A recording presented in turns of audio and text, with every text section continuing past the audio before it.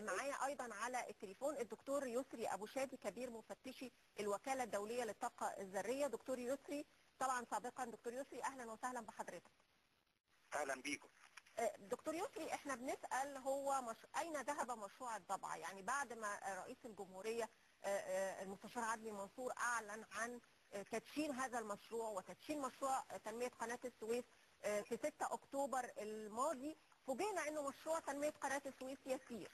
اما مشروع الضبعة فلا أي معلومات عن أي خطوات تجري. بتقديرات حضرتك أو من بالمعلومات اللي عند حضرتك آه، آه، يعني ماذا يحدث الآن؟ يعني أكيد حضرتك حتى لو في فيينا أو حتى لو موجود في القاهرة فأكيد حضرتك قريب من دوائر المعلومات وصنع القرار. آه تمام. الحقيقة أنا كنت متوقع التأخير ده. ده توقع منطقي لعدة أسباب.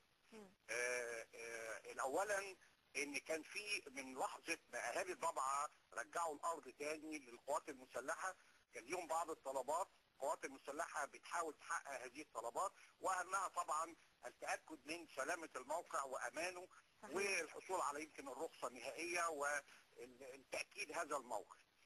أعتقد إن القوات المسلحة آه، واخدة موقف جاد في هذا الموضوع وإن هي بتدرس حقيقة. وإن هو عايزة يوصل بسرعة إلى آه، يعني التأكيد لتطمين أهالي الضبعه وتأمين مصر كلها إن الموقع ده آه، سليم تماما وإن المدة الطويلة اللي إحنا بندرس فيه هذا الموقع آه، استكملناها وبالتالي مفيش أي مشاكل.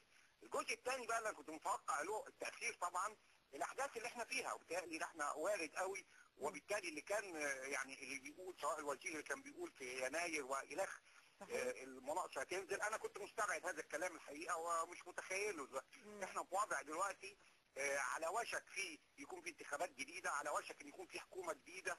آه، الأمور لم تستكمل نهائيا بالنسبة لموقع الطبع.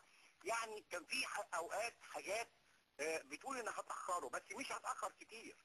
التاخير يعني لازم هيكون شايف إن. التأخير ده منطقي وإنه المشروع لم يتأخر أو لم يتجمد. لأن الحقيقة الدكتور إبراهيم العسيري من شوية صدمني. قال لي إنه قد تكون هناك ضغوط وقد تكون هناك آه، آه، يعني غياب للإرادة المصرية من جديد. فالحقيقة أنا اتصدمت لما سمعت الكلام ده.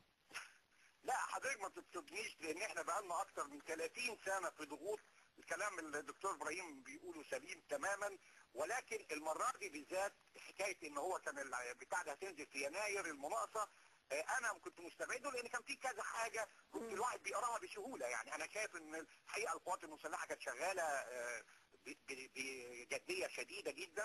وأعتقد إن أهالي الضبع سلموهم هم الطلبات بتاعتهم وهم بيحاولوا يستوفوا هذه الطلبات إن المحطات النوويه ليست مجرد مشروع تجاري وإلا ما كانش اتعطلت ال 30 40 سنة لو كان مصر عايزة تبني آه، مفاعلات نووية من 30 40 سنة وما فيش ضغوط سياسية كنا عملناها من زمان. بشكرك فلا في ضغوط سياسية. الرد بقى على الحكومة اللي جاية والقيادة اللي جاية إنها ما تتأثرش بهذه الضغوط الخارجية. وتعرف إن لا رفاهية لمصر في اهمال الطاقة النووية. لا لا مصر لا تملك هذه الرفاهيه بشكرك شكرا جزيلا الدكتور آه، يسري أبو شادي كبير مفتشي الوكاله الدولية للطاقة الذرية.